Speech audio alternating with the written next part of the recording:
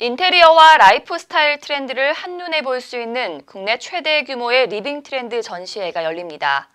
올해 서울 리빙 디자인 페어에서는 밀레니얼 세대를 중심으로 한 토털 인테리어와 디자인 가전, 그리고 생활 소품 등 다채로운 컨텐츠가 선보일 예정입니다. 앵커 리포트입니다. living 산업을 이끌고 있는 국내외 living 디자인 기업과 브랜드 360여 개가 한자리에 모입니다. 제25회 서울 리빙 디자인 페어가 오는 4월 3일부터 7일까지 5일간 삼성동 코엑스에서 열릴 예정입니다.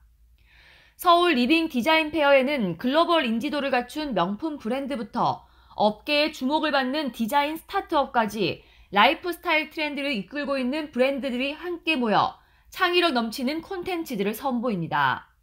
올해는 행복이 가득한 집 만들기를 주제로 밀레니얼 세대, 즉 1980년대부터 2000년대 초반에 태어나 물질적 풍요와 디지털 기술의 수혜를 받고 자라는 세대를 중심으로 변화하고 있는 집의 개념과 최신 living 라이프 트렌드를 만나보실 수 있습니다. 현대백화점이 2007년 론칭한 프리미엄 living 편집 매장 H-H는 국내에 소개되지 않은 브랜드 제품을 포함한 감각적인 라이프 스타일 제품들을 제안할 예정입니다. 또한 가구를 중심으로 인테리어 솔루션과 공간 콘텐츠를 제시하는 브랜드 빌라레코드도 전시에 참가해 한국에서 흔히 볼 수 없는 중세풍의 철제 가구와 주문 제작 가구를 선보입니다. 가구에 더해 향기와 빛, 음악 등 공간을 채우는 다채로운 형태의 living 콘텐츠를 볼 수 있습니다. 밀레니얼 가족의 living 트렌드로 petterior도 빼놓을 수 없습니다.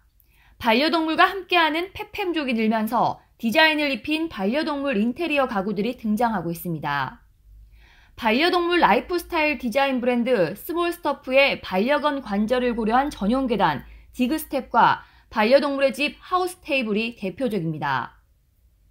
서울 리빙 디자인 페어의 메인 이벤트라 할 수 있는 디자이너스 초이스 전시회는 독일 미니 리빙의 총괄 creative director 오케 하우저와 한국의 공간 디자이너 김치호가 협업의 장을 마련했습니다.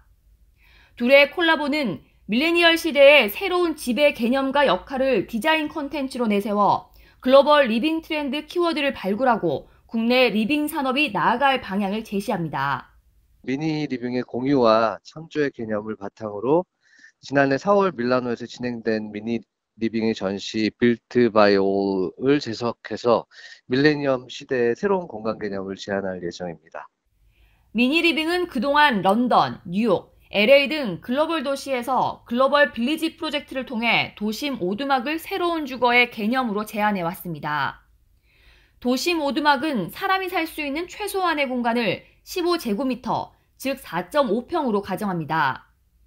개인 생활에 필요한 침대, 세면대, 책상, 옷장 등은 효율적으로 배치한 반면 화장실, 탈의실, 부엌 등 공유가 가능한 공간은 도시와 연결한 새로운 형태의 주거 개념입니다.